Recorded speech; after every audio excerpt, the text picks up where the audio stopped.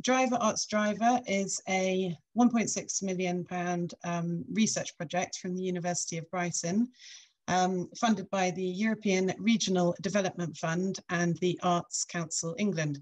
And it focuses on um, sparking a superfusion of creativity, technology, business and innovation when using data as a tool. Uh, participants in the program can have access to Gatwick Airport's real-time data, as well as a range of support, uh, expertise, events, funding, and training from the University of Brighton up until the end of this year. Um, so everything you need to know can be found at drivaartsdriva.com. Um, so I would encourage you to just have a little explore because there's, there's masses of information on there. Um, so moving on to today. Um, as I said, if you could just keep muted um, and keep your videos off, then uh, it just avoids interruptions. And just to let you know that we are recording this webinar. So if anyone has any issues with that, if you could please let me know. Um, so today is about how has Brighton collected, used and made decisions about visitor data in 2020. And we are delighted to welcome Gavin Stewart, the Executive Director of Brighton and Hove Economic Partnership, and CEO of Brilliant Brighton, the city's business improvement district. Um, for nearly a decade, Gavin has been at the forefront of growing Brighton's experience and retail economy, and we are looking forward to uh, hearing from him. Gavin, over to you. Thank you very much, Bonami. Uh, thank you. Excuse me. Thank you for inviting me along today. I'm going to um, be giving you all uh, a bit of a bit of background really about what makes Brighton and Hove tick, if I can make my computer work. So, um, and really this this conversation that we're having this morning is a, a bit of background about the the different sectors in the city how the city works, what what data we use to try to come to uh, a group agreement really on, on what the city should be doing as we as we go forward. So we're going to do the whole strategy piece, but then I'm also going to talk about the, the city's business improvement district as well, because that's hopefully some bits and pieces that you will see actively happening on the street in Brighton and Hove just now. Now this is quite dense, this uh, chat this morning, there's quite a lot of data in there. Um, I will share the slides afterwards, so don't worry about maybe taking notes or whatever. But equally, uh, on some of the slides, there is quite a lot of information. I'm not going to just sit and read through all slides, so don't panic when, when a slide comes on and there's just lots of words on that page. We will, they're there for, for reference for you afterwards, really, ultimately. So, looking at the Brighton and Hove economy, one of the the most interesting things I think actually about our economy is that the, the sector is heavily driven by the, the, the public sector. Now, after the, the financial crisis in 2008 and the, the subsequent uh, contraction within that sector, you'd be forgiven for believing that the that actually we, we don't have such a huge reliance on our public sector in the city. But, but all these years later, uh, it's still the largest employer uh, within Brighton and Hove. Now, the second one may be a surprise to you banking, finance, and insurance. And I know this element of today is largely about the tourism sector, and we, we do talk about it in terms of it being one of the biggest sectors, but it's, it's, it's still not number one or number two in the financial sector is is, is, is, is large and surprisingly growing in the city as well. And we're going to go into that a little bit later on when we talk about the effect that COVID has had. So we'll come back to that. So the, the third one. Gavin, sorry, it's fun. There's a slight bit of feedback with the microphone. I don't know if. Oh, really? From me? Oh, there we go. No, it seems to have stopped. So I think I think we're good. okay. Flag that if it happens again. Sorry about that.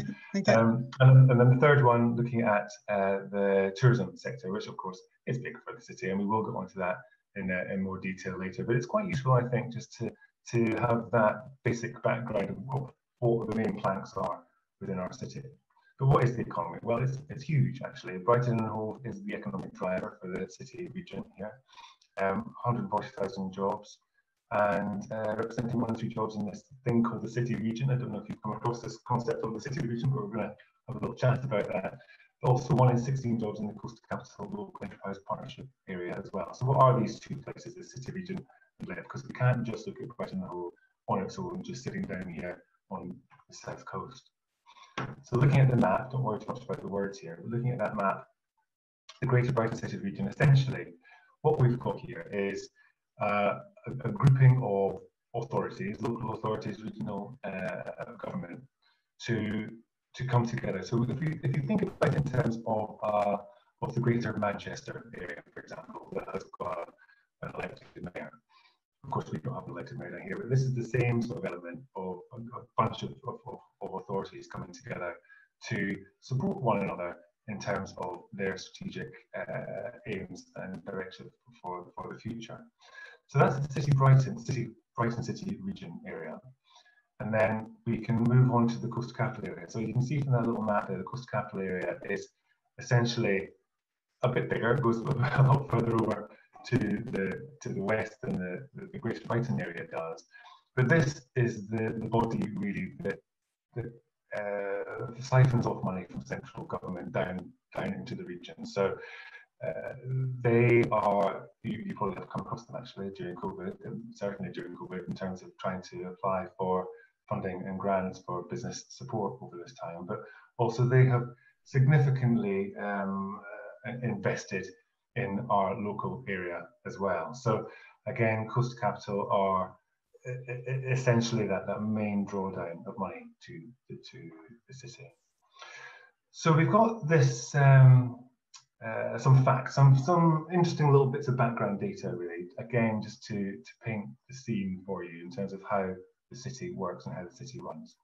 So there's a really strong growth within the city, 2,700 more businesses you can see there um, open, opening up over the last decade really. And the this is a high growth area. And what's interesting, we'll go into this again a bit later on, is that even with the, with the spectre of COVID um, uh, hanging over us, there has still been a strong entrepreneurial spirit in the city. And we'll see some stats about that later on.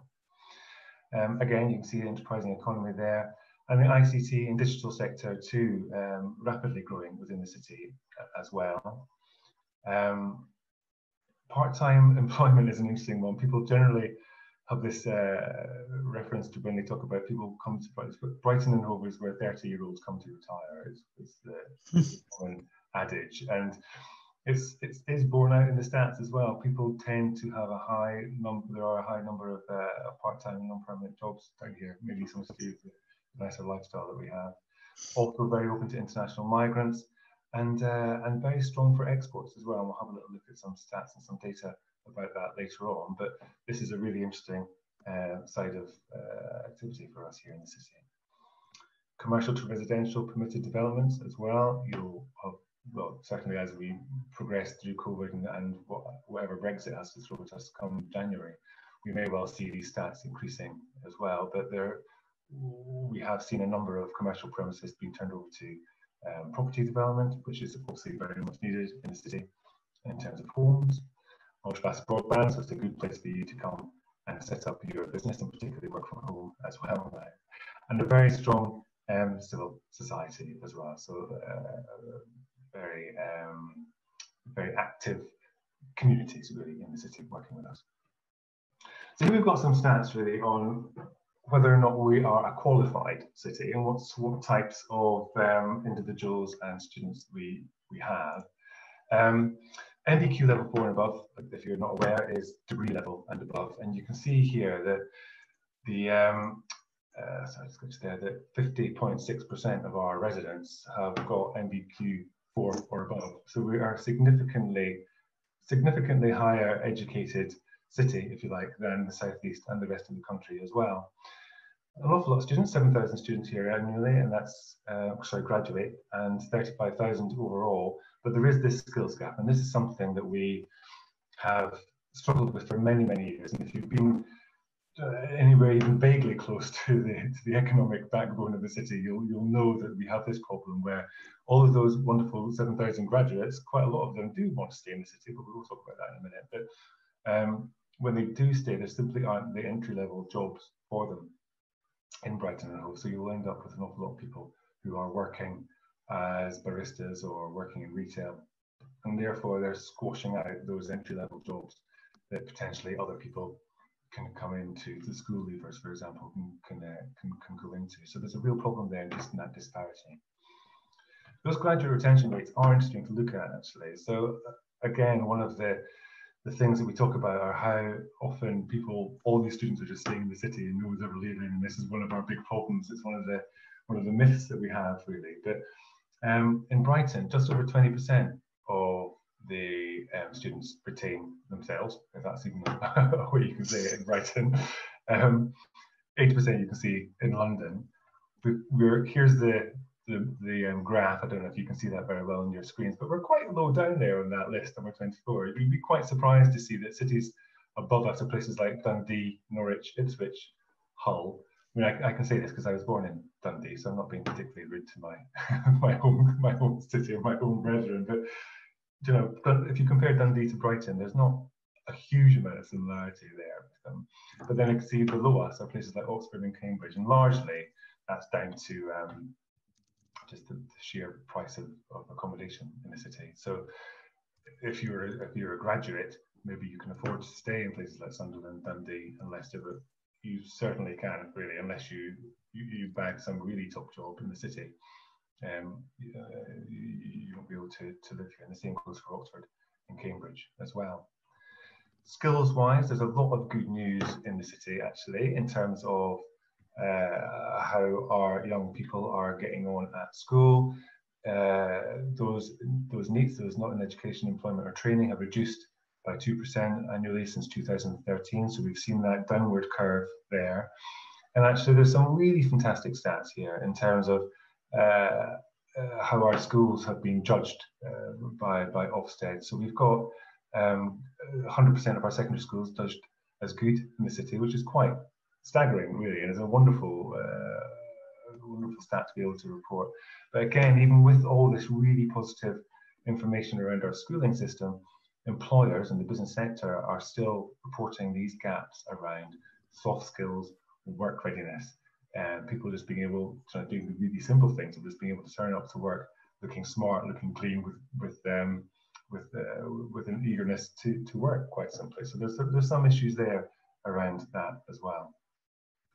So let's look at this now. Are we a connected city? Well, you'll have seen certainly during COVID that things changed quite significantly. We're now back up to something like 30% of the pre-COVID levels.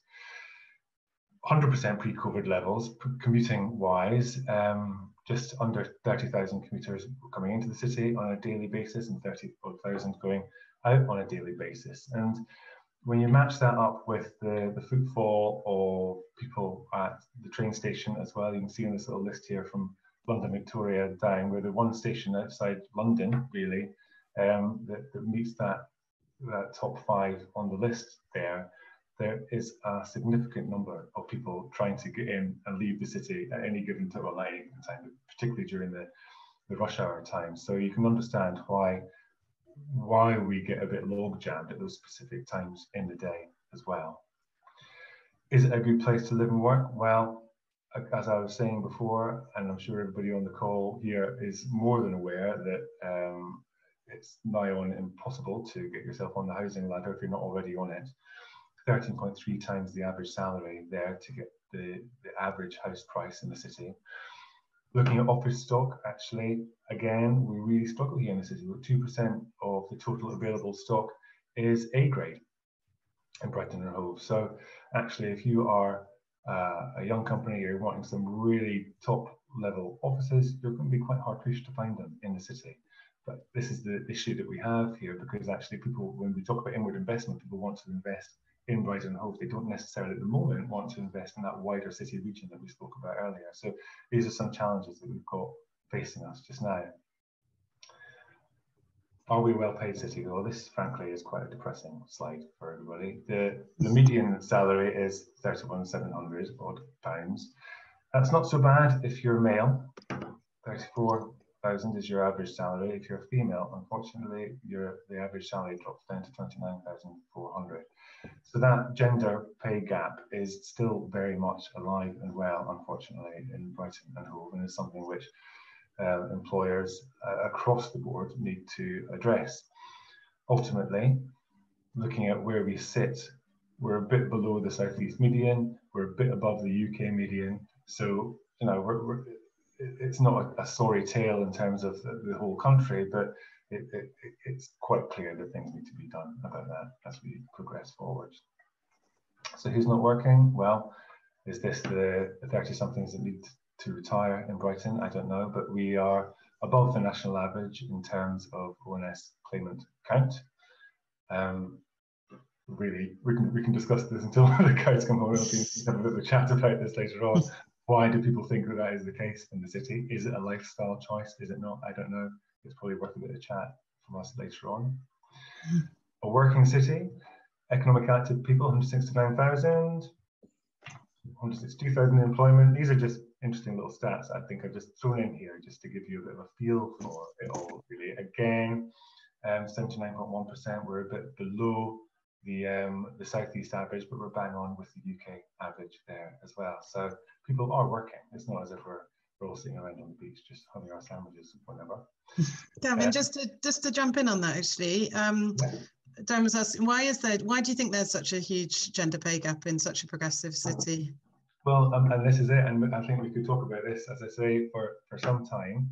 Hmm. Um, your guess really is as good as mine. The, when I talk to businesses, it's not something, because I've given this presentation, this talk, certainly to a whole different range of different organizations, and I've to rooms full of people, and we've got to that slide on the on the gender pay gap, and there's been audible gasps in the audience of people just being kind of outraged really about it. But then when we talk to those businesses that are in the room, everybody's absolutely on the same page. Everyone thinks that yes, we should be we should be 100% have this absolute level with pay. Mm. Um, looking at our um, the, the, industries that work in the city, we're a relatively low value in the industry economy, if you like. So there, there aren't that many jobs in Brighton and Hove that have um, high value added, i.e., high high pay levels. So that your creative digital sector jobs, your financial sector jobs, some of them will have the higher value pay, so forty thousand pounds and above, for example. But a lot of them will be very low level pay. So a lot of them are going to be um, jobs that are in uh, hospitality, leisure, um, uh, retail, and so on and so forth. Mm. Now, it's going to be a massive generalization when I say this, so don't don't hang me up for it. But quite a lot of those jobs um, are quite often taken by um, women, particularly in the hospitality sector as well. Um, so that that could be one of the reasons why there is that that gap, just in terms of the uh, that male female split. But equally at the same time, there's a whole bunch of other theories why it could be the case as well. So it's um. Mm it's endlessly debatable, I'm sure. Yeah, exactly. yeah. Um, so moving on to the, the population of the city, but you'll, if you've lived here for any length of time, you will have noticed that it has grown and continues to grow. But it doesn't actually grow quite as much as we think it, it does, if that makes any sense at all. So in the southeast, we're actually below the southeast average. So you know, walking around the city, when I talk to businesses, quite a lot of people are saying, well, everybody comes to Brighton, that's where they all come. If they don't want to be in London, they all come to Brighton, and that's that's where they're all going. But actually, in terms of the southeast, they're not all coming to Brighton. They're, they're spreading themselves around a bit more elsewhere in the city, but then and elsewhere in the in the region. But looking at the UK increase, you can see that yes, people are funneling in this direction rather than funneling elsewhere as well. So that trajectory looks like it is going to continue. Mm. So we'll go to the strategy side, of it all now. Now we've got all that, all these little numbers knocking about in the back of our head. How do we solve this problem like Hove? What, how do we use all that data to to make some sense, really? So, well, there's a, there's a few things, and quite a lot of strategies flying around, and lots of bits of paper here. The city plan part two. I don't know if that's something which has um, come across anyone's desk who's on the call at the moment, and it's actually been consulted by the local authority just now uh, until the end of October. So you can have your say on this as well. So it's worth logging onto the council's website um, consult consultation portal and having a look at that. But ultimately, this city plan part two is really it really looks at the development sites in Brighton and Hove and where where we can develop, where we can build housing, schools, art spaces, uh, transport links, you name it. It's all in there. So it is worth having a little look at, uh, at uh, how that is going to potentially pan out as we go forward. It also sets out where we're going to be able to build all our homes that we need in terms of the next, uh, well, by 2030, starting with another 13,200 homes uh, the planners reckon we need in the city uh, just, just to stay level, not to actually grow at all. Um, and again, going back to this earlier bit of conversation we had about the Greater Brighton Economic Board, as I say, Brighton doesn't sit on its own in isolation. We have to work with our local neighbours. I say have to, that, doesn't, that sounds like it's a, under duress. These our local neighbours all want to work with each other. So you can see the list of uh, different areas there that are, are, made up with the Greater Brighton Economic Board. And that looks at how we can spread some of that 7.1 billion headline uh, economic output that Brighton and Hove has across that wider city regions. What we want to be able to do is see some of that sprinkle in in Horsham, in Worthing, in Adur, in Lewes, for example, and also the, the issues around Gatwick as well. Now, I mean, Gatwick really was the economic powerhouse in the north of the region, in the north of the region, if you put it that way. But now that um, COVID has hit and uh, there are significant issues really with the aviation sector now going forwards and masses of job losses within that area, uh, we're going to have to work a lot harder to see how we can really find those jobs and those uh, those careers now for, for everyone, but we have to work together as a region to do that. This little bit down here, the International Department for International Trade. Um, again, one of our aspirations, I, I, suppose, is about inward investment, and that's foreign direct investment into the city. So I'll just give you a little aside here. We uh, a few years ago, gosh, probably about 2015, 14, 15, I think, we we worked with the Department of International Trade the, uh, back then, before they came called the Department of International Trade, and uh, just waved a little bit of a flag for people to invest in Brighton. So essentially, what the, what the DIT do is they advertise the, the country abroad. So they'll go to Hamburg, to New York, to wherever, and they'll say Britain's a great place for you to invest in. And then there'll be a bunch of cities, towns, areas in the country that are already created some pretty good uh, propositions they're called for why people should want to come and invest in the local local area. And in Brighton, we haven't really done that very well at all. So back in 2015, we created some pretty basic, I have to be honest with you, two sides of A4. This is why it's great to come to Brighton. Come on, guys, and wave the flag around.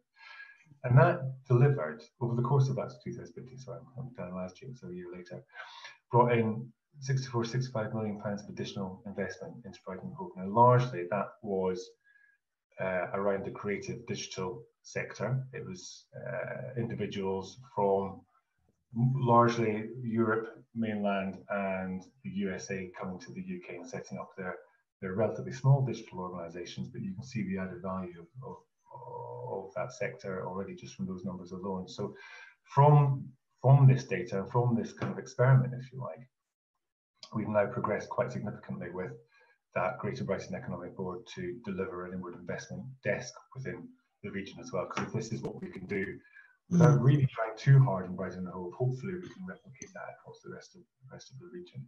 We'll get onto that a little bit as well in, in detail later on it's always nice to compare oneself with everybody else. It's a thing that we do being British. Um, and just here's a, if I can direct you to the, the Centre for Cities Outlook report from 2020, it's a, a, really interesting little read just in terms of how we rank uh, with the rest of the UK. You can see we're the second highest in the UK for startups. So again, really entrepreneurial city here. We're ranked third in the UK for business stock, which actually stands uh, a, a, kind of a, as an opposite to what we reckon here locally. So um, I do worry about what the rest of the country's business stock looks like if, uh, if we're only third and, and Brighton's is in the state that it's in. Um, eighth in the UK for residents with high level qualifications. So we've got the talent and we've got the skills here for really high level organisations to come and land in Brighton and. Ranked four in the UK for housing affordability. That's not a good place to be ranked for housing affordability, unfortunately. Um, we're, we're just a very expensive place to live but but we are uh, a third in the UK for our lowest energy emissions. Yeah. So it's an interesting little bag of of, uh, of stats there. So for all of you who are really interested in having a look at just that strategic landscape and wanting to of things that are going to make you not maybe fall off to sleep too quickly, but um, uh, there's a little list of the stats, so, so, the plans that we currently have live in the city at the moment. Uh, and they're all, they're all worth it. And what we're talking about here today are a few of the, the, linear threads that have been drawn from all those strategies into this conversation just now. Um, yeah, so our economic strategy and inward investment strategy. So this really is looking at once we boil down all these numbers and once we actually start to get an idea of what it is that we want the city to be looking like in the future, one of the one of the main things that came out from all of our consultations that we did with businesses, from all this data that came in, was this word disruptive. And I know it's been overused and I know it's probably a bit lame as well, but it's something that Brighton Hove happens to do really well. And when we first um, showed this strategy in its draft form to a number of different uh, uh, partners, one of the people were quite upset by the word disruptive. They kind of felt that they didn't want people to be coming to Brighton and being disruptive. They didn't want us to be advertising the place somewhere where actually you, you could come and come and do all this crazy stuff. But the, the fact of the matter is that Brighton, by virtue of its DNA, is a disruptive place. People want to come here and they want to try out new things. So it's an actual linear thread here again for the for the strategy and for the vision of the city going forward that we are open to collaborative and informative ways of working. We want that disruptive nature. Disruption doesn't necessarily mean people coming down here and throwing off their fireworks in the middle of the street. It's, it's actively coming down here and looking for new and exciting ways that they can work together. So, oh yes, I was going to stop here before I wanted this. Right, so it's probably worth us having a bit of uh, an open chat here for a few minutes. From what I've been saying, thus far, there have been 10 defining challenges that we reckon have, uh, can be distilled out of that whole conversation, that wider conversation about the, the, um, uh, the, the stats within the city. And I'd be interested to hear from people on the call what your thoughts are for the challenges in the city, and then we can kind of go through what came from from the strategy. If that's okay, if we want to open up for a bit of a chat. Yeah, so if you want to type your questions or your state or, or, your statements, or if you want to unmute yourself, feel free to just um, chip in. it always takes a minute. People typing or. Are people typing because I can't see online? Uh, it doesn't actually let you know. I'll, I'll kick off with one. I mean, presumably, um, uh, you, you, touched on it earlier in terms of um, commuting, but uh, presumably transport has to be has to be in there. Yeah. Um, yeah. Uh, there's a couple of comments coming in. So um, Donna was saying huge number of creative freelancers, which are very precarious, especially now. Yeah, absolutely, Donna. Yeah. Yeah, so that must be. And uh, Lauren saying uh, employment feels like the next biggest challenge from an individual level. Yeah, yeah. Shall I, shall I crack through these then? Do, do um, your big reveal. big reveal, yeah. Um, and cost of cost of housing, cost of living, um, Sarah's saying. Yeah, absolutely, absolutely. So, number one, and this isn't actually in any order. So, so uh, this is just how they how they've come out. This isn't like the, this isn't the most important thing being number one here, but the economic identity of the city. So, what we need to do is create a very clear image, not just for inward investment from foreign direct investment, but for people within the UK to come invest in the city as well. We haven't got a clear central place for people to be able to do that from. Mm. Productivity in the city is comparatively low. Um, but again, the, the structure of our economy that I was talking about earlier in terms of that, that retail, leisure, hospitality sector being um, a bit of a blanket across the, the economy. That's one of the one of the issues. And again, this issue of the 30 somethings coming to retire, I think this productivity is, is largely quite low.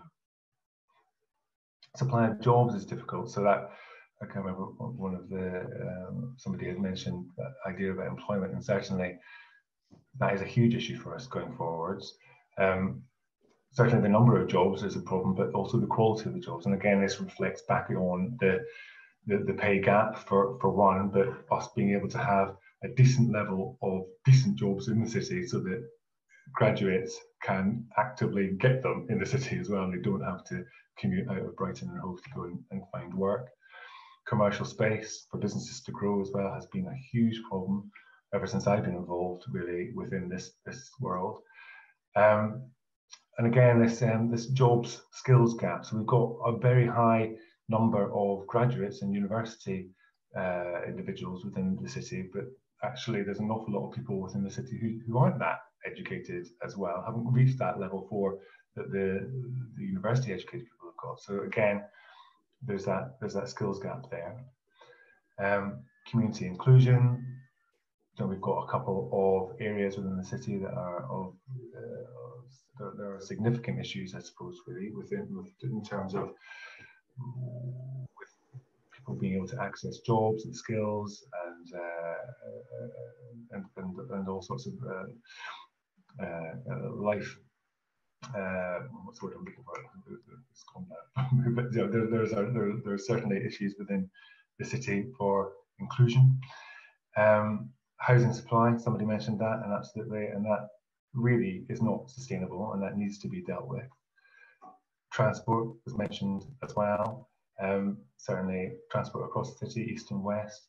So that's that slide that I, I showed earlier. I don't know if anybody picked up, but the in, in terms of North Street in the city centre, 4,000 buses go up and down that street every day.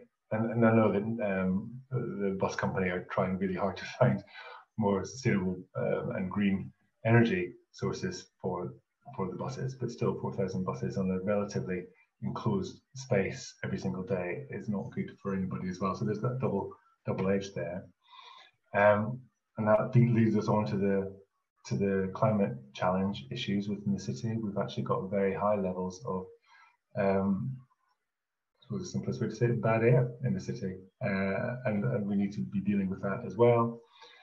And we need to be able to respond to change quickly to one of the one of the issues is that Brighton's a wonderful place in terms of people wanting to to do stuff and crack on with things, but at the same time, there's still quite a lot of silos still quite a lot of different people working in different areas and not working quite as in partnership with each other as one would hope. So, so those are the things that kind of come through uh, certainly from that first uh, tranche of. Um, Can we um, just pause there? Can we just want to go back? I just wonder if anyone has any um, specific comments on any of those. Uh, Don has also mentioned a couple of other areas that aren't specifically mentioned, but um, the, the state of the city generally, heritage, rundown, etc yeah. Um, but also um, mental health challenges higher here than average. Yeah. Um, and, and, and I suppose highlighted even more so yeah. now for, across nationally as well as within Brighton. Yeah, um, absolutely. Yeah. Well, well, both those points are, are, are really key as well. The the the set, well, the state of the city one will come on to a little bit with with the conversation around Brighton and what our aspirations are for the city mm. centre, certainly.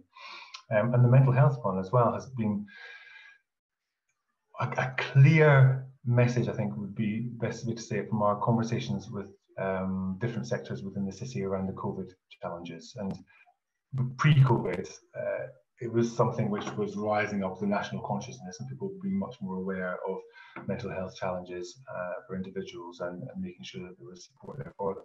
During this whole COVID um, experience that we've all gone through, one of the top things that businesses are saying is that they, they, they understand now even more the need to, to be looking after their, their staff and their teams as well. So it's something which is starting to bubble up and become much more of an issue, I think, in the city as well.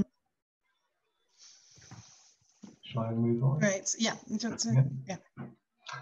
Okay, so we've got then taking all of that stuff and looking at what we can do to try to make the city a better place. We've got four kind of headings, really, I suppose, that we are focused on. I should say that this, the economic strategy that we write, we, we write it in partnership with the local authority. So we, as the economic partnership, are a group of, it's always in flux, but there's 50 odd uh, representatives around that table, chief exec CEOs of the, the larger, more strategic organizations in the city from across the board. So not one sector is, is overrepresented against another and they they come together to write this economic economic strategy in partnership with the local authority. So hopefully, in theory, there's there's business buy-in there behind this as well. It's not a council say document that's going to sit on the shelf. So you can see here again. We're not going to talk through all these, but so there's aspirations here to be a, a growing city, looking at innovation, looking at working with our universities, um, looking at uh, housing and uh, enterprise zones and so on. EV charging is an interesting one here.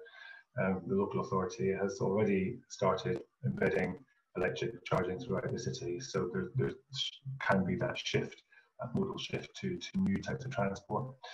Looking at open cities, so really being here for business investment and looking to support the visitor, retail, and culture offer within the city. And we'll talk a little bit more about that as well with the with the business improvement district chat in, in a moment. This key action here is this new trade and invest team for Greater Brighton. Um, and again, that's really talking about what that what that proposition looks like in terms of if you're a foreign business and you wanted to invest in the city, how do we really sell the city going forwards?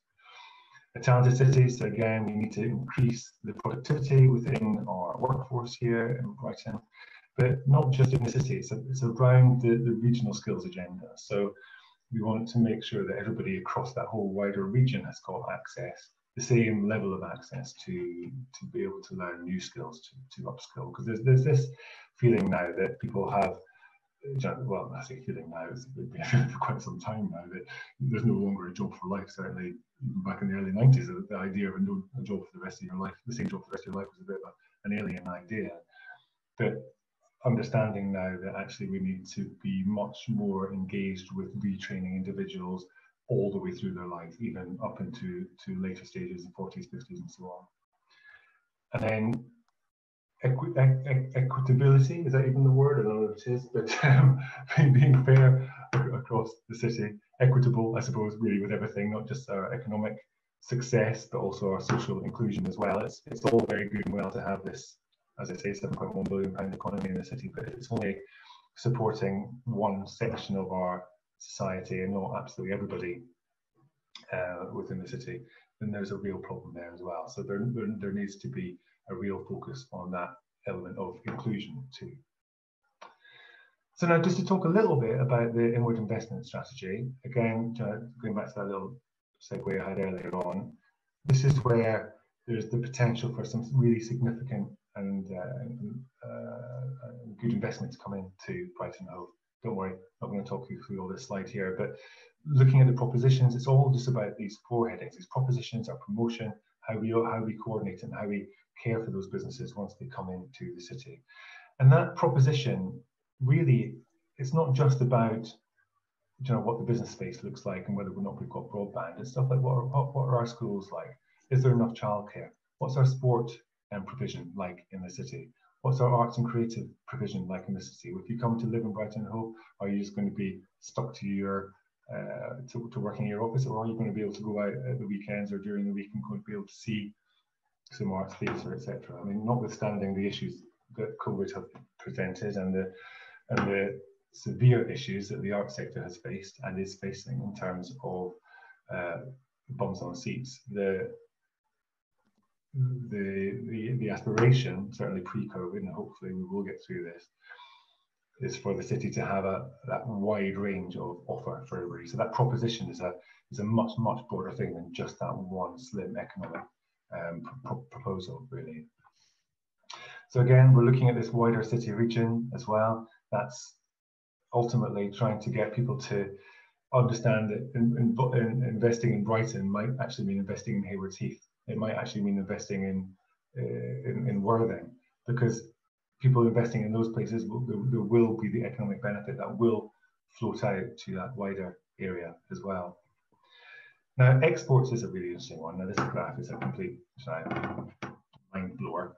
But if I can draw your attention over to the far right-hand side here, where it says London, and if you move to, to the uh, to the left, you can see Edinburgh, and then the next name that comes up is Brighton and Hove. Essentially, what this graph is telling you is that Brighton and Hove is only third behind London and Edinburgh in terms of exports. Uh, in terms of per, per like a service export, sorry, per job. So that's people sitting on computers largely um, offering up their services uh, across the, the world. And it's really interesting to see all these places that come behind us here.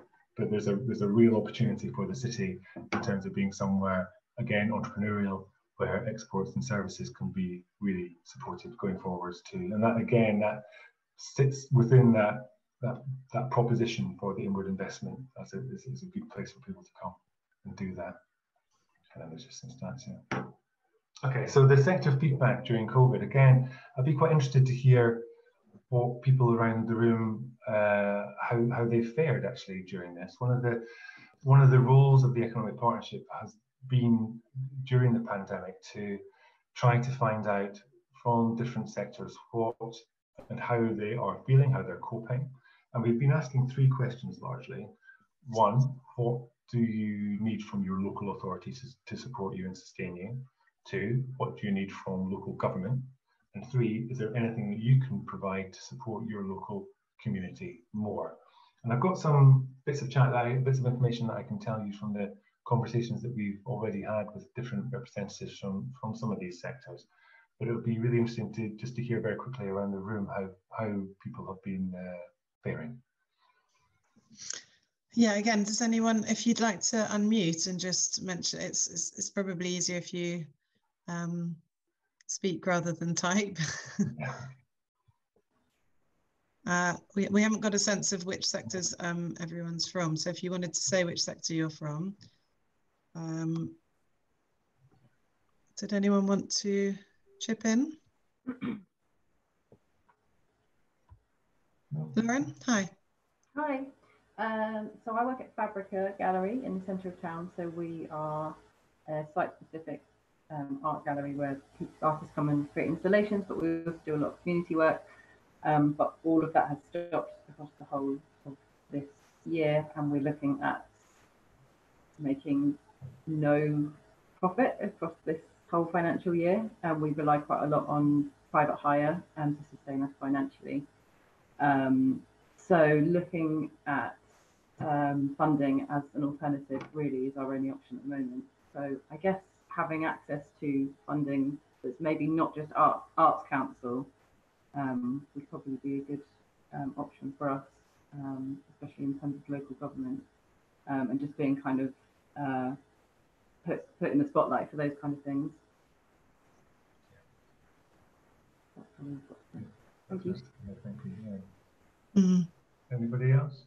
Um, yeah, I work in the non-profit sector, so we we generate our income through events, and obviously we can't put on any events. So um, we have been fortunate to get some funding, but it's extre- it, generally funding is extremely competitive anyway. But it's just been ramped up, and if you are a small voluntary-led organisation, we we don't have the infrastructure or the uh, resources that maybe larger organisations have. So you get these pots of funding that are available, there's a mad gold rush dash to it. Yeah. But you, you have to have the people and the experience to be able to write these bids to get in there first. So I think potentially um, additional support for smaller grassroots projects um, would be incredibly helpful because it time and time again we get so close uh, and then we miss out because you know everybody else is trying to well we're trying to do our day jobs and look after our families and then fit in our projects after yeah. our service leaders need us more than ever at this time of crisis. So it's a bit of a chicken and egg. Yeah. Yeah. Yeah. Hmm. Um, Sarah, I think you had a comment. Uh, yeah, uh, Rosie and I both work for Brighton Fringe. Um, you can imagine what this year has been like, but we are managing a small festival at the moment. It's something like 8% of what May was supposed to look like, um, and we've pivoted so we've got digital events happening as well. Um, I really liked Dan's suggestion um, of more support for smaller organisations in terms of um, help just to get funding bids out. I mean, we're lucky that I have a member of staff, that's their job, but I'm aware that it's not fair for everyone across the city. Um, but really, our main thing is a need for more coherent marketing of including us of what's what's going on in the city because everything is not shut down. We've got 70 events happening this month. Um, so that would be really useful if there was a channel for that. Um, mm. That's me. Thank you. And Donna, hi. Yeah, gosh, I'm adding to the same theme actually, um, because I think there is something around, um, you know, I think what's been really demonstrated, particularly recently with the whole, um, you know, venues going red for live events and for live music, and you know, um, Brighton does events like extraordinarily well. You know, it's the real thing that gives us an edge. You know, I work all over the country, and I can, I, I can really tell you that the, the the type of festivals and events that we have are are the, some of the best in the UK. They're they're really like just very much part of Brighton's history and identity. And I would really like to see the authorities come together and put a bit of not support as in fund just funding, but really sort of be a bit ambitious about leading the way in facilitating events to happen you know because it's not just about giving money it's about you know um, actually the events industry is incredibly entrepreneurial and, and, and a lot of those creative freelancers that i was talking about. So it's not about relying on public funding but it is about having you know an authority that works hand in hand with the sector to try and um, support it you know um, to, to to do what it does best. And, and and I'd really like to see to see that sort of ambition and that bravery. You can see a lot of local authorities being really fearful of events. Um, and it would be great if Brighton was the first to sort of step forward and say, we know that these guys know what they're doing, we believe in them, and we're going to support it to, to, to happen in the same way. You know, it's brilliant that the Fringe is happening. And, uh, you know, how lucky were we'll in summer to have Brighton Open Air Theatre, the Warren, and Shakespeare in the Park happening. Three different theatre events. Extraordinary. It's something to be really proud of, I think. Mm. Yeah. Thank you. Yeah, really good stuff there. Thank you, everyone. Um, yeah, so we're just think, thinking about that actually. We will, I, I will come on to to the funding or potential funding opportunities for the arts actually uh, when I talk about the business improvement district. So hold that thought uh, for now. We are still continuing to talk to different different sectors in the city. I think it's fair to say. So, understandably, retail, leisure were kind of real near the top of the list at the start of the COVID crisis. So there was a lot of conversations there, really about people understanding just how to navigate themselves through furlough, etc. As we're coming out of things now, we met with representatives from the financial services sector, and one of the one of the most interesting things I think that came out of those conversations was, well, my, my feeling certainly prior to having those chats was that if there's going to be a massive contraction with the financial services sector in central London, the city of London. We're bound to feel it here down on the coast, and there's a significant number of people who work within that sector in the city as well. But actually, what those businesses are saying is that yes, there will be a, a contraction in London, but what they're looking to do is uh, invest within the regional economies as well. So largely, actually, there may well be some good news there around around finance. Creative digital, again, their their issues are around the skills gap and needing to be able to upskill people. They're very much aware that there's an awful lot of people potentially in the leisure sector and culture and heritage sectors who are going to be struggling to find work at the moment. But what they are saying is that they reckon that they're in a good position to be able to employ some of those individuals and train them up as well. Um, certainly, there's been a move to well, as you may know that we're a 5G test bed in the city here, and we're one of the only, well, the only 5G test bed that businesses can actually test themselves on um, uh, if they want to be able to do that. And the creative digital sector has certainly started to, to move in the direction of being able to, for example, um, stream live arts events and so on and so forth uh, throughout the COVID pandemic. So there, there, may be opportunities there as well. Um, hospitality is going to be one of the major issues within the city going forwards um, depending on what happens over the next few months in terms of lockdowns. Uh, that that sector, as the culture sector, I'm afraid to say, is probably the, the most fragile, the, the, two most fragile sectors within the city at the moment. So, yeah, uh, you know, the points that you're making about ensuring that there's funding available for, for those is, is, is, is very clear. Um, I'm going to move on now to the business improvement district because where we've been talking about that kind of wider strategic view, the business improvement district are brilliant Brighton, as you can see here from our logo, is is very much about that focused projects on the ground in the city centre. So if you don't know what a, what a business improvement district is, uh, yeah, it's uh, an organisation that's brought together, well, it brings together a bunch of businesses to and they, they, they put some money in the pot, so they pay a percentage of their rateable values.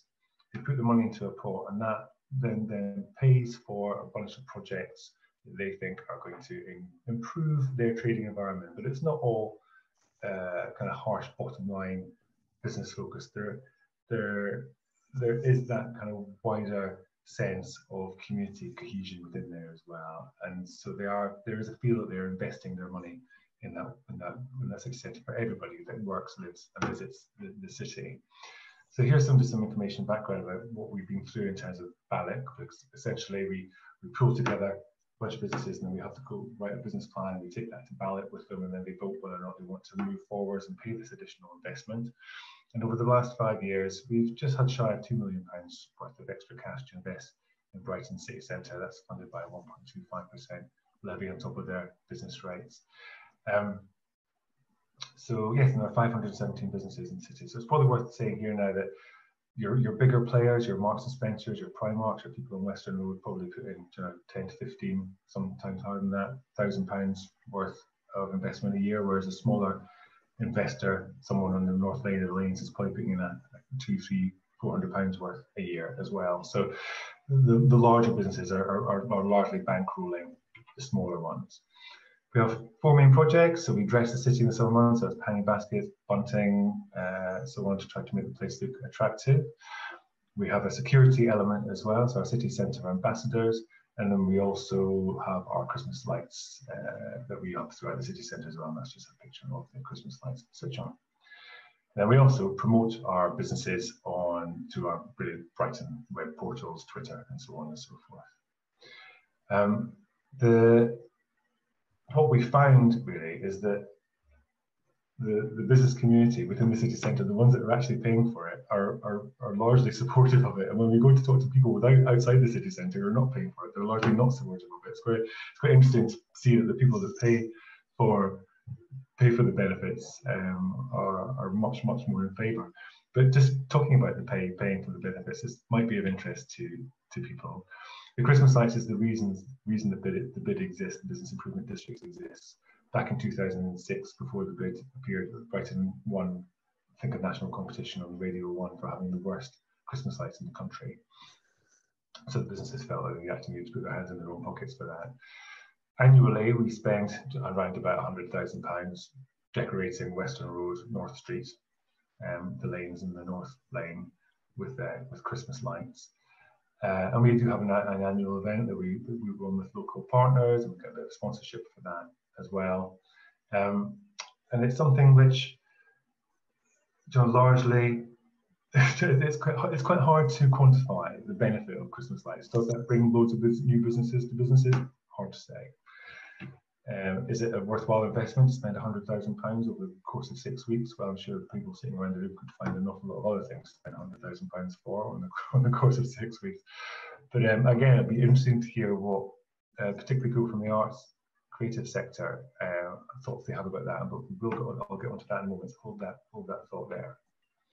Dressing the City, this is our smallest budget, £30,000 a year, but we do bring in a, quite a, a good bit of um, of sponsorship from that as well because we do have banner from Western Road and North Street, so we, we people can sponsor us and have their logo and their name bang through the city centre for you know, May, June, July, August, September. So not an insignificant amount of time uh, to have your logo up there in the streets. And then we can also engage with local schools and so on and so forth.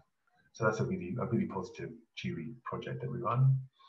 Our city centre ambassadors, they are the most expensive. We've got four people um, who patrol the city centre, but they're there to support the businesses, but they're there to support the members of the public as well. So we we have it's, a, a, twofold role that they, they have.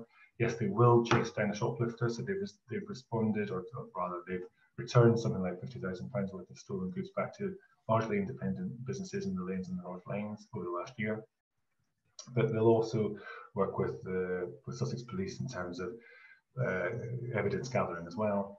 But then on their, their softer side, they're there to support members of the public as well. So you can see from this photograph that they're there helping some students on a, on a, on a little quest there. But also if you if you find yourself lost, you don't know the way to the station, the beach, or what have you, you can stop and ask the ambassadors, and they can be there just in that ambassadorial role as well. And then we promote ourselves, or rather, we promote this, what's going on in the city centre within the city centre businesses out to uh, the wider communities too. So we're there to, if you're if you've got a new offer or a new product in store, or you've got a new thing in your menu, or you've, you've got an event that's happening that you want people to know about, we can be there to, to support those businesses as well. So we're constantly out there having that conversation. And that's really what that's about. It's about creating that conversation with the local local community. And then what we try to do is add uh, some significant benefits to our businesses because they're putting money into the pot to pay for uh, these these projects that essentially benefit everybody who comes into the town centre. So we try to reduce costs particularly for our membership. So I will negotiate a whole bunch of different things, cheaper advertising with organisations, um, cheaper rates for people to get involved. And ultimately what that boils down to is that they can um, they can say, say, say for example, if you're a small business in the North Laine, you're paying what 350 quid a year for the benefits of the bid. We can put a, a shopping basket of products in place so that actually they save at least 350 pounds over the course of the year as well. So actually that investment becomes cost neutral to them in the first place. Um, data collection, again, we're, we're, probably one of the only organisations that's out there doing vacancy rate surveys and city centre health checks as well. Um, just probably worth noting here that in terms of vacancy rates, this, the bid area is 7.62% vacant, the wider city is 9.18% vacant. Um, the national average is somewhere between 10 and 13, always kind of fluctuates around, so we're still below the national average. Um, that's not to say that we haven't seen those vacancies increasing. Within the bid area, from pre-COVID till now, that's increased by about 1%, and the wider city centre um, area, that's increased by about 2.5% since pre-COVID. But at the same time, of quite a lot of those businesses that have gone um, vacant, there has also been a, a, quite a large number of new businesses that have already come into their places as well. So we're hoping that that entrepreneurial spirit continues and helps us weather this storm. Um, sure. So now we're reaching the end. Now you'll be pleased to hear. That's a precious The future. What does the future look like for Brilliant Brighton? So that two, just shy of two million pounds there that I was talking about um, is well, that, that investment will come to an end in June next year. So we are bound by a piece of government legislation within Brilliant Brighton that we've got to go back out to our businesses after a year, after five years rather, sorry, and ask them, hey, do you want to vote in favour of this again? And if you do, what sort of projects do you want to see happening here? So we're currently just now in a process of consultation with our membership, and we're seeking to see if we can increase the bid area, not just by the footprint, but also by the types of sectors that are represented within the bid as well. Now, there's a there's a, a prize, if you like, on on offer for that. If we do manage to increase the area just slightly and increase it by the sectors, it means that we can potentially look at an income that is double what we've got just now, so just shy of four million pounds a year. And within that, we're asking businesses to say what sort of projects you they would like to see. Now, I'm aware, looking at my own screen, because I can't even see this, but this area here is the number one on the, on the picture. Mm -hmm. There's a list of tick, tick boxes that we're asking people to to have their say on what they want to see happening. And that stuff, again, it's stuff like what we've been delivering already. It's Christmas lights and decorating the cities and so on. But there's also something in there about the arts, and there's something in there about events. And we're asking businesses whether or not they want to be uh, a funding body for uh, for, the, for, for, creative industries ultimately within the city centre. Now, really, this is about attracting more people to the city and making giving people a, new experience every time they come to the city. But there's an opportunity here within the bid for us to be an organisation that somewhere between 50,000, maybe 100,000 pounds a year. We don't know yet because we don't know what feedback we've had from the businesses is. But we could have not an insignificant amount of money that could be there for us to create maybe a handful of events throughout the year or or whatever um, and, and work in partnership with local organizations to be able to do you know, trails, art installations, street theatre, whatever. Um, it's up for grabs at the moment, really. But we're looking to to try to kind of reimagine what that city centre experience feels like for people. You know, so yes, you're going to come to Brighton for the day, but you're going to get a slightly different experience every time you come to Brighton than you would have if you go every time to Worthing or every time to Hayward or what have you.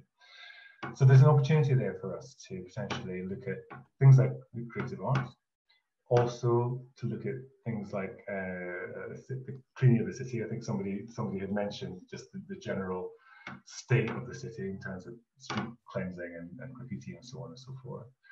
Now, the local authority simply doesn't have the money to be able to to do the level of cleansing that we all want to see in the city centre. But we, as a bid, could potentially have somebody hired to give a, a, a, jet wash of the streets at least once a week for, for, for like city centre areas. And when you go up to Victoria, for example, and you get off the train at seven o'clock in the morning, you see somebody with a, a hose and they're, they're hosing down the streets. That's probably being paid for by their business improvement district. So it's something that we want to see if we can emulate that in Brighton as well to make the welcome a lot more appealing for people uh, and just to make that whole Brighton visitor experience a whole lot more enjoyable for people as well. Um, I think that is me. I've come to the end there. Yeah. So uh, happy to answer questions or just have a bit of a chat about everything we've been saying. Just on that end note, um, there, did, did anyone have any further comments just on the back of, um, of, of, what you were saying before in terms of um, supporting that bid and, and putting your thoughts forward? Please, please do unmute yourselves and, and hi, Lauren. Hello, I just wondered, I, I think that sounds really exciting and really um, promising, especially um, what you just said there about the uh, creative sector. Um, but I just wondered uh, whether there was going to be priority given to like local and independent businesses as part of that, because especially given, as I'm thinking of the example of Victoria and the new kind of development that's right there, and it, you know, it's something like that would feel probably quite jarring in Brighton, and that people would probably not enjoy the introduction or something like that. So I wondered if that was part of your strategy. So yeah, I'm not, so I'm not talking about um, development construction. I'm talking okay. about I'm talking about actual stuff on the streets to make the streets a better place. So my my my uh, example of Victoria is simply just about people being out there hosing down the streets. It's not actually about the the huge. I mean, I don't even recognise Victoria now when I go there. really different. it's really different. But, but yeah, that, that's not our our aim. Isn't to kind of reimagine what the city centre looks like in terms of its its kind of wider structural physical space. It's about actually just making what we've currently got as attractive uh, and, and as appealing as possible. Because at the end of the day, people come here for the independent sector, and I mean that across the board in terms of arts, creative, retail, what have you. People come here for that one-off experience, really, and that's something that we certainly want to be able to to uh, to help them to grow within the city centre. Thank you. Uh, did anyone else have any questions or comments about that or, or more broadly as well? Um, thank you, Gavin. That was a lot of information to, uh, yeah. to digest. um, but it's fascinating, I think. Uh, I mean, certainly I, am in Hove, so I'm just on the edge, but um, the, the, the, numbers, the volume and the value of the numbers around what you're saying is, is fascinating as somebody who lives and, and works here and has children at school here. And mm. um, it's the sort of information that you don't, it doesn't, it doesn't pass your, your door every day. So it's really interesting to get a bit more of an insight into that. So thank you. Um, so I, yeah, I just wondered if anyone else had any other questions. I'll just check the chat. Um, and Donna saying the same fascinating presentation and such a helpful snapshot snapshot of the city. Um, actually, Dan had a question um, more broadly. He was saying with, with the ongoing messaging for us to continue working from home. Oh, Dan, you you you chip in. You're on mute. That might help, mightn't it? um, with the ongoing messaging of for everybody to work from home, now we've had this this period, I, many people I know are never going to go back to commuting. They simply don't need to. Their employers have changed the way that they do. Obviously, that's a huge effect on all of the, you know, the local coffee shop and the sandwich bars and stuff like that. This is going to continue. Is there light at the end of the tunnel, or how can we reinvigorate? Um, you know, I can imagine going into the, the city at the weekends and stuff like that. But if I don't have to go in nine to five anymore, yeah. that's going to have a huge impact on all of that local economy. So, how's that going to be worked? Yeah, well, yeah, I don't, I don't think we can underestimate what impact that's going to have on the local economy. I think that's absolutely spot on. One of the one of the bits of feedback that we're hearing from, I'm going to call just very broadly the office sector, um, has been that there is still a need for people to, to see each other. So although there won't be that expectation to maybe be in nine to five, five days a week, there will still be a, not necessarily an expectation, but a need, that's a, just a human need for people to be able to come into the office maybe one or two days a week or one or two mornings a week to come and have those those team meetings, those brainstorming sessions, those water cooler moments where you get to talk about Game of Thrones or whatever, you know. But it's a, just simple human nature. And what what we've been hearing, certainly from some of the larger employers, so people like Amex, people like Legal & General, are that they are going to be looking to change the way that their office actually works. So rather than having a whole load of just desks and everybody coming in and doing their office thing, actually changing it up quite significantly to, to make their office environment feel a lot more like like a platform line, for example, or a, uh, you know somewhere where so there's, there's equitable equitable share, share of uh, breakup space to office space, so that people can actually come in for the morning and just have that social interaction with their with their workforce. Now, whether or not that comes to be is, is another thing, and whether or not that is going to be enough to be able to sustain the, as you say, the coffee shops and the restaurants and so on and so forth. That remains to be seen as well. One of the things about Brighton that we've got over other places is our tourist um, numbers, and something that I didn't actually bring up in the in the conversation there. But we've got, well, pre-COVID, 11.5 million visitors come to Brighton every year. Now, when I talk to other, certainly other business improvement districts around the country, and I, I, I say a number of that magnitude to them, I mean, literally jaws hit the floor. They would give mm. their right arms to be able to have that number of people coming to, the, to their city. Now, I'm not saying that all those people come and they spend lots of money. They don't. Nine and a half million of them are day trippers they probably spend a five or a tenner, if that, they'll come back kind of lager from the store, go and drink on the beach and get back on the train again. So what we want to be able to do is encourage more um, short-term stay uh, visits. But when we look at the the trajectory for potential staycations in the city, and look at um, actually there's a, there's a point over August when you know, we, we were hearing very positive things actually from from hospitality and and from from retail.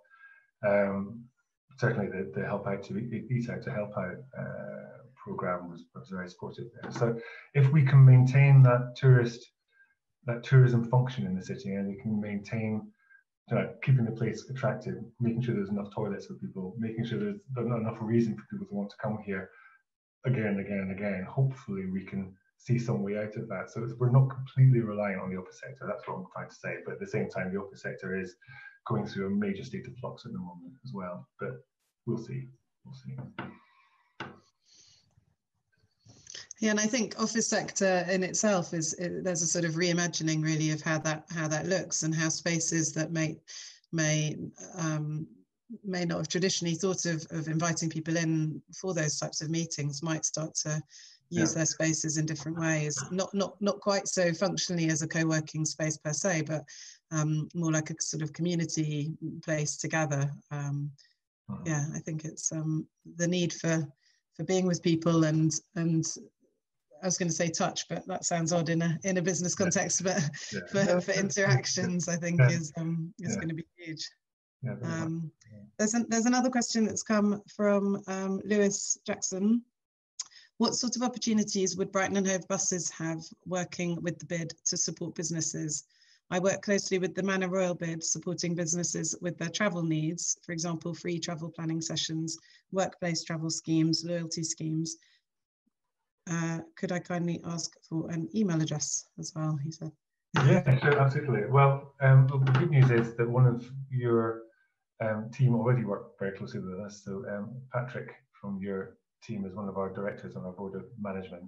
So we, we have got quite a good relationship with Brighton Hove buses, but by all means, it would be really great to talk about what other direct opportunities that we could uh, have that you can you can bring to the to, to our membership. I mean, we are in constant um, uh, contact with, with members, so it would be really brilliant to be able to pass on more information that's coming from your direction. So yeah, I'm, I'm more than happy to share our contact details. that sort of raises the question, um, Lewis saying he works closely with Manor Royal Bid. Do do bids interact? I suppose is that a, is that a... Yeah, we do. I mean, Manor Royal bid is slightly different to, to Brighton mm. City Centre bid because it's an industrial estate bid. Yeah. Um, but we, the Brighton bid's been going since 2006. The, the legislation for bids only came in in 2004. So we're, quite active now, but we're pretty close to it. Mm. And as a result of that, and because we've been going for quite a few years now, we will be approached by other bids, certainly along the coastal strip, for advice and support about hey, how to get up and running and uh, what sort of problems have you encountered and what sort of things can we mm. Doing better. To, I'm, not, I'm, not, suggesting for a second that we are the paragon of best practice tonight, but, but at the same time, we've been doing it for so long that we, experience helps. We, yeah. we enough mistakes now to be able to uh, encourage people to not make those mistakes as well. So, so we do certainly talk to our local neighbours, but also we sit on a panel of what they're called big city bids. Um, I think we're probably the smallest of the big city bids because it's Manchester and Leeds and uh, proper big cities, not, not a Brighton big city size or places. But we do share just uh, uh, our common experience and, and, and, best practice when it, when it helps as well. So we are in contact. There's probably something like 320 business improvement districts across the UK at the moment. Um, mm. Every major town or city has got one. It's the sustainable method really for town or city centre management really now. Great. So um, anybody else have any questions? Thank you, said Lewis. um, if anyone else has any questions just wants to unmute or um, wave their hand. No, I think that's everybody. Um, so I just, um, shall I just share my screen? Do you want to come off your screen? Or are you, if, are you stopped? Yeah, okay. you stopped. Um, I'll just go back in. Oops. um, so that's that's um, brings us to the end of a very interesting talk. I think we can tell from the comments there and um, and people's queries that um, it's just, as I said, a really useful insight into the city. So thank you very much, Gavin, for your time. And I'm sure, um, as you mentioned, if anyone has any specific questions, he'd be happy to um, answer them um, directly via email. Um, that brings us to the end of today's talk. The next talk um, in the series is tomorrow, and we will be talking about citywide safety through crowdsourced data. Um, this will be um, uh, a presentation given by the Chief Executive of Safe & the City, uh, Jillian Kowalchuk, who um, created um, and has launched this uh, app to support um, women in particular who are um, in navigating the streets of London and how to keep them safe by sharing routes that have been sourced from, um, from the population of the city. Um, so that will be another fascinating talk. So do join us if you can. Uh, this is, these are just some other events that are coming up more broadly. Uh, please do go to drivaartsdriva.com to take a look um, and uh, ensure that you've registered to hear about more events and opportunities that are coming up through the programme. Uh, so thank you very much to everybody. Um, I will stop sharing my screen and just say thanks very much. And we look forward to seeing you. Every, everybody's sharing comments, um, Gavin. So thanks for your time and look forward to um, seeing how the, the, the conversations go around the bid. Yeah, thank you. Yeah, okay, good yeah. luck. Thanks, everybody.